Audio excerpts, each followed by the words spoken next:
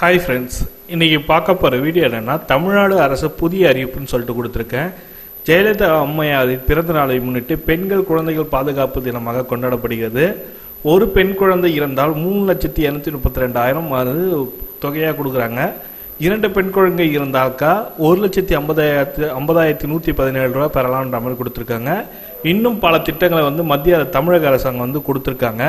அது என்னன்றத ஃபுல் டீட்டெயில்டாக பார்க்க போகிறோம் முழு விவரமும் இந்த வீடியோவிலையும் இதுக்கு நம்மளோட வெப்சைட்டான இன்ஃபோ டெலகிராம்லையும் இருக்குது கிளிக் பண்ணி பாருங்கள் இந்த வீடியோ பிடிச்சிருந்தா லைக் பண்ணுங்கள் ஷேர் பண்ணுங்கள் கமெண்ட் பண்ணுங்கள் கூடிய சப்ஸ்கிரைப் பண்ணுங்கள் கீழே டெலகிராம் குரூப் இருக்குது கிளிக் பண்ணி ஜாயின் பண்ணிங்க. வாங்க வீடியோக்குள்ளே போகலாம். இதுதான் நம்மளோட வெப்சைட்டு இன்ஃபோ டெலகிராம் குரூப் குரூப்பில் பார்த்தீங்கன்னாக்கா தெரியும். உங்களுக்கான நோட்டிஃபிகேஷன் டீட்டெயில் எல்லாமே கொடுத்துருக்காங்க. சட்டசபையில் வந்து பார்த்தீங்கன்னாக்கா தமிழக முதலமைச்சரான எடப்பாடி பழனிசாமி அவர்கள் வந்து கொடுத்துருக்காங்க. பெண்கள் குழந்தைகள் பாதுகாப்பு தினமாக கொண்டாடப்படும் சொல்லிட்டு உள்ளது. முன்னாள் முதல்வர் மதிமுக பொதுச் செயலாளருமான மறைந்திரு மறைந்த மறைந்த திரு முதல்வர் மு- முன்மொழிந்துள்ளார். பிப்ரவரி இருபத்தொன்னாம் தேதி ஜெயலலிதா பிறந்த நாள் மாநிலம் முழுவதும் பெண்கள் குழந்தைகள் பாதுகாப்பு தினமாக கொண்டாடப்படும் சொல்லியிருக்காங்க. அது கூடவே கூடவே இன்னும் ஒன்று ரெண்டு மூணு அறிவிப்பு கொடுத்துருக்காங்க. என்னன்னா இந்த அறிவிப்பு பார்த்தீங்கன்னாக்கா அரசியலமைப்பு சட்டத்தின் கீழ் நூற்றி பத்தின் விதியின் கீழ் இந்த அறிவிப்படி ஆதரவற்ற பெண் குழந்தைகளுக்கு இருபத்தோரு வயது எட்டியவுடன் இரண்டு லட்சம் வழங்கப்படும் என்று முன்மொழியப்பட்டுள்ளது சொல்லியிருக்காங்க. என்னன்னா இப்போ எந்த ஒரு சப்போர்ட்டுமே இல்லாத குழந்தைங்களுக்கு வந்து இருபத்தோரு வயதானவுடனே இரண்டு ரெண்டு லட்சம் ரூபாய் வழங்குறாங்க தமிழக அரசு.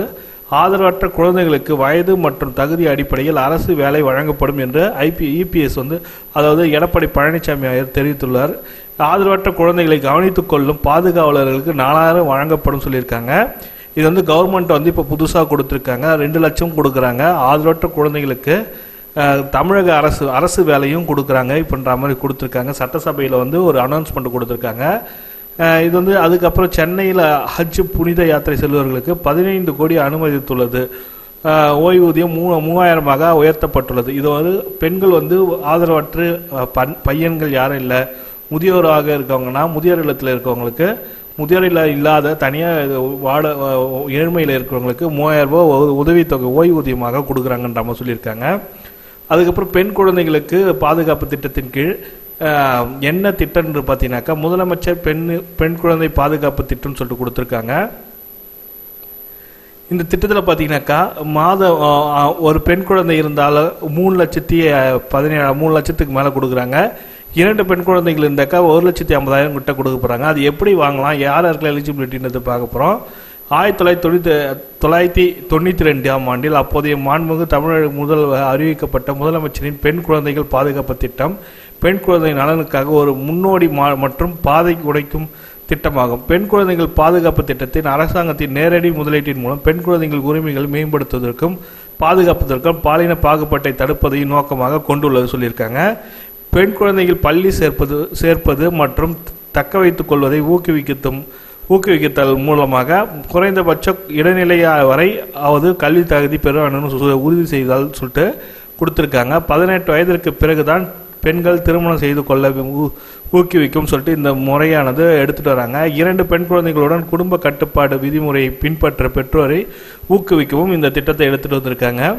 பெண் குழந்தைகளின் உரிமைகளை பாதுகாத்தல் மற்றும் பெண் குழந்தைகள் சமூகம் மற்றும் நீதி வலுவூட்டுதல் ஆகியவற்றை வழங்குதல். பெண்களுக்கான சம உரிமையை வந்து தமிழக அரசாங்கம் வந்து வழங்கின்னு இருக்காங்க. அதில் வந்து முன்னோடி திட்டமான ஐம்பதாயிரம் சொல்லிட்டு கொடுத்துருக்காங்க. என்ன என்னத்தை அதை பார்க்க போகிறோம் திட்டத்தின் கீழ் வ- வைப்பு முறை சொல்லிட்டு கொடுத்துருக்காங்க. என்னன்னா உங்களுக்கு உங்கள் அக்கௌண்ட்டில் குழந்தைங்களோட பேரில் ஐம்பதாயிரம் ரூபாய் வந்து காப்பீட்டை போட்டுருவாங்க. அது வந்து பதினெட்டு வயசு ஆனோடனே அவங்களுக்கு வந்து அந்த முதிர்வு தொகை கொடுப்பாங்க. என்னன்றதை பார்க்க போகிறோம் திட்டம் ஒரு பெண் குழந்தை மட்டும் உள்ள ஒரு குடும்பத்திற்கு Tamil Nadu power finance and limited சொல்லிட்டு கார்ப்பரேஷன் லிமிடெடில் நிறுவனத்தில் நிலையான வைப்பு வடிவில் ஒன்று எட்டு ரெண்டாயிரத்தி பதினொன்று அன்று அல்லது அதற்கு பிறகு பிறந்த பெண் குழந்தைகள் பெயரில் ஐம்பதாயிரம் டெபாசிட் செய்யப்படுகிறது. இந்நிலையான வைப்பு ரசீது நகல் பெண் குழந்தையின் குடும்பத்திற்கு வழங்கப்படும் சொல்லியிருக்காங்க. இப்போ உங்களுக்கு ஐம்பதாயிரக்கான காசோலை வந்து உங்களுக்கான கொடுத்துருவாங்க டெபாசிட் பண்ண காசோலை. இது வந்து டேட் கொடுத்துருக்காங்க பாருங்கள் ஒன்று எட்டு ரெண்டாயிரத்தி பதினொன்று முதல் அதாவது அன்று பிறந்தவர்கள் அதற்கு பிறகு அதாவது ரெண்டாயிரத்தி பன்னெண்டு பதிமூணு பதினாலு அதுக்கப்புறம் பிறக்கிற குழந்தைகளுக்கு ஐம்பதாயிரம் டெபாசிட் செய்யப்படுகிறது. திட்டம் இரண்டு பார்த்தீங்கன்னாக்கா இரண்டு பெண் குழந்தைகள் கொண்ட ஒரு குடும்பத்திற்கு அதே கார்ப்பரேஷன் லிமிட்டடில் அதே டேட் ஏஜ் லிமிடேஷனில் ஒன்று எட்டு ரெண்டாயிரத்தி பதினொன்று அன்று அல்லது அதற்கு பிறகு பிறந்த குழந்தைகளுக்கு இருபத்தைந்தாயிரம் டெபாசிட் செய்யப்படுகிறது. நிலையான வைப்பு ரசீது குழந்தைகள் குடும்பத்திற்கு வழங்கப்படுகிறது சொல்லியிருக்காங்க. இதுக்கு சம் கண்டிஷன் கொடுத்துருக்காங்க. என்னென்னா மேற்கொண்ட வைப்பு நிதிகள் ஐந்து வருடங்களில் முடிவிலும் புதுப்பிக்கப்படும். பதினெட்டு வயது முடிந்தும் வட்டியுடன் டெபாசிட் செய்யப்பட்ட தொகை பெண் குழந்தைகளுக்கு வழங்கப்படும் சொல்லியிருக்காங்க. இந்த நன்மையை பெற பெண் குழந்தைகள் பத்தாம் வகுப்பு பொதுத் தேர்வு தேன்ற தேற்றாகும் என்று சொல்லியிருக்காங்க. இவ்வாறு முதிர்ச்சியடைந்த தொகையை பெண் குழந்தை தனது உயர்கல்வி தொடரவும் உதவும் சொல்லிட்டு கொடுத்துருக்காங்க. இப்போ பார்த்தீங்கன்னாக்கா ஸ்கீம் ஒன்று பார்த்தீங்கன்னாக்கா ஒரே ஒரு பெண் குழந்தைன்னா ஐம்பதாயிரம் கொடுப்பாங்க.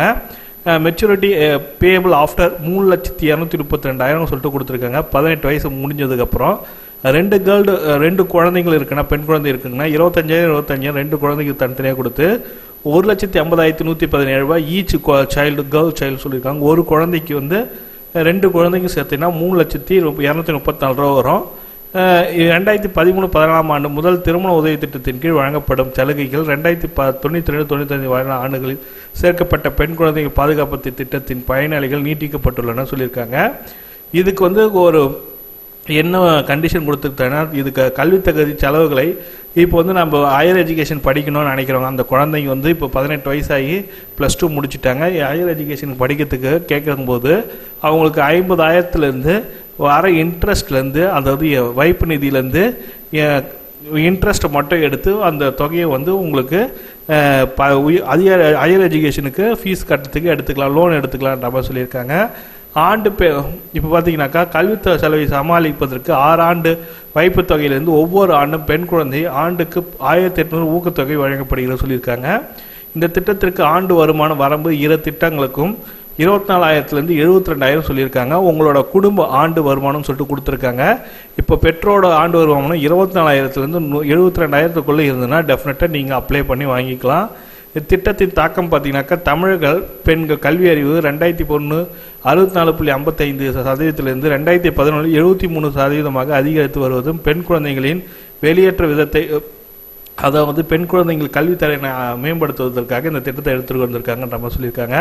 ஃபுல் டீட்டெயில்டாக சொல்லியிருக்கேன் எதனாலனா இது வந்து கேட்டிருக்கீங்க நிறைய நிறைய பேர் கேட்டிருந்தீங்க. யூடியூப் சேனல் நான் ஒரு வீடியோ போட்டிருந்தேன். ஐம்பதாயிரம் பெறுவது எப்படின்ற மாதிரி ஒரு சேனல் அந்த வீடியோவில் கேட்டிருக்கீங்க. இது எப்படி பெறணும் சார்ன்ற மாதிரி கேட்டிருந்தீங்க. வழிமுறை என்னன்னு சொன்னேன். இப்போ வந்து வந்து நீங்கள் ஒரு பெண் குழந்தை வச்சுருக்கீங்கன்னா உங்களோட ஆண்டு வருமானம் இருபத்தாலாயிரத்துலேருந்து எழுபத்தி ரெண்டாயிரத்துக்குள்ளே இருக்கணும். ஒரே ஒரு பெண் குழந்தையாக இருக்கணும். நீங்கள் கருத்தடை கன்ஃபார்மாக பண்ணியிருக்கணும். அந்த வீட்டில் அவங்க பெற்றோர்கள் அப்பாவோ இல்லை அம்மாவோ அது யாராவது ஒருத்தர் வந்து கருத்தடை பண்ணியிருக்கணும். அதாவது கர்ப்பப்பையை ரிமூவ் பண்ணியிருக்கணுன்ற மாதிரி சொல்லியிருக்காங்க. நியூட்ரஸ் ரிமூவ் பண்ணியிருக்கணுன்ற மாதிரி சொல்லியிருக்காங்க. குழந்தை பெற மகப்பேறு ஆகாத அளவுக்கு இருக்கிறவங்களுக்கு மட்டும்தான் இந்த சலுகைன்ற மாதிரி சொல்லியிருக்காங்க. இப்போ வந்து பார்த்தீங்கன்னாக்கா இதில் கூடவே ஆதரவற்ற பெண் குழந்தைங்களுக்கு வந்து நாலாயிரம் ரூபாயிலேருந்து ரெண்டு லட்ச ரூபா மற்றும் தமிழக அரசு வேலையும் கொடுக்குறாங்கன்ற மாதிரி சொல்லியிருக்காங்க. இதுக்கு எப்படி அப்ளை பண்ணுன்றது ஃபுல் டீட்டெயிலாக கொடுத்துருக்கேன். இதுக்கான அப்ளிகேஷன் ஃபார்ம் லிங்க் எல்லாமே டிஸ்கிரிப்ஷன் லிங்கில் கொடுத்துருக்கேன். கிளிக் பண்ணி டவுன்லோட் பண்ணிங்க. டெஃபினட்டாக ஒரு நல்ல ஆப்பர்ச்சுனிட்டியாக இருக்கும். வீடியோ பிடிச்சிருந்தா லைக் பண்ணுங்கள் ஷேர் பண்ணுங்கள் கமெண்ட் பண்ணுங்கள் கூடயே சப்ஸ்கிரைப் பண்ணுங்கள் தேங்க்யூ